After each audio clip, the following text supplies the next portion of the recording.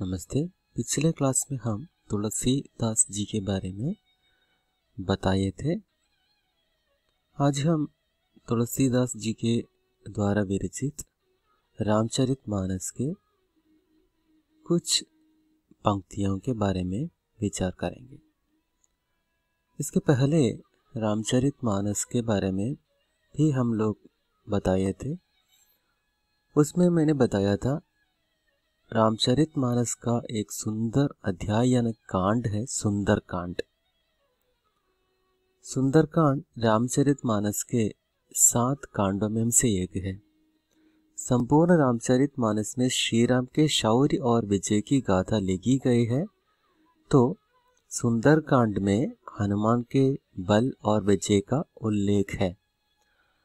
हनुमान जी का लंका की ओर प्रस्थान, विभीषण से भेंट सीता से भेंट करके उन्हें श्री राम की मुद्रिका देना, अक्षय कुमार का वध, लंका दहन और लंका से वापसी का वर्णन इस अध्याय में हुआ है। अब हम हनुमान जी के बारे में थोड़ा सा जानकारी प्राप्त करेंगे। भारतीय महाकाव्य रामायण के मुख्य पात्र है हनुमान। हनुमान जी बजरंग बली के रूप में भी जाना जाता है क्योंकि इनका शरीर वज्र की तरह कठिन था, यानी कठोर था। हिंदू पौराणिक कथाओं के अनुसार हनुमान मारुति अर्थात मारुत नंदन है। अब हम पंक्तियों देखेंगे। हनुमान ते ही परिसाग कर पुन ही प्रणाम। राम काजू किन्हें बिन मोही कहा विश्राम सीता जी से मिलने के लिए समुद्र पार करने वाले हनुमान को, आराम करने के लिए समुद्र की आज्ञा से मैनाक पर्वत समुद्र से ऊपर आते हैं और हनुमान जी से प्रार्थना करते हैं, थोड़ा विश्राम करके जाएँ।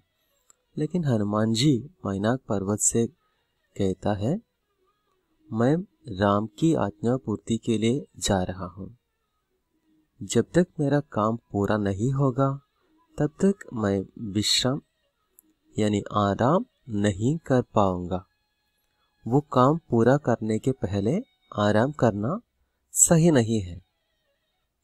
यह है इस पंक्ति का अर्थ।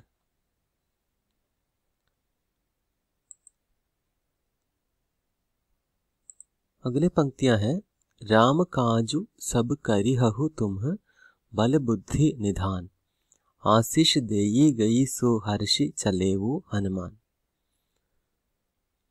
सीता जी से मिलने समुद्र के ऊपर से जाते वक्त सुरसा नामक नागमाता को देवताएँ हनुमान की शक्ति परीक्षा के लिए भेज रहा है।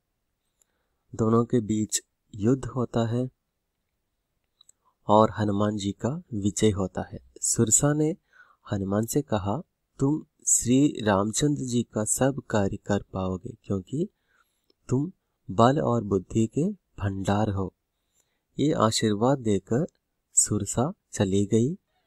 तब हनुमान जी हर्षित होकर आगे निकले। अगली पंक्तियाँ है। पुर रखवारे देखी बहु कभी मन कीन ही विचार। अति लख रूप थारो निसी नगर करो पैसार। इस प्रकार समुद्र के ऊपर से चलते चलते हनुमान अंत में लंका तक पहुँच जाते हैं। तो वहाँ के हाल क्या है? हनुमान देखते हैं। भयंकर शरीर वाले करोड़ों योद्धा सावधानी से लंका नगर की चारों दिशाओं दिशाओं में रखवाली कर रहे हैं। हनुमान जी लंका नगर के बहुसंख्यक रखवालों को देखकर मन में विचार किया कि अपना रूप थोड़ा छोटा करके ही अंदर जाना उचित होगा और सुबह अंदर घुसना तो उतना अच्छा नहीं रहेगा, इसलिए रात के समय नगर में प्रवेश करना अच्छा होगा। देखिए, ऐसा एक सुंदर नगरी है लंका। इसके चारों ओर है करोड़ों जो रखवाली करने वाले लोग रख रहे हैं। इसका सुंदर चित्र यहाँ आप देख सकते हैं।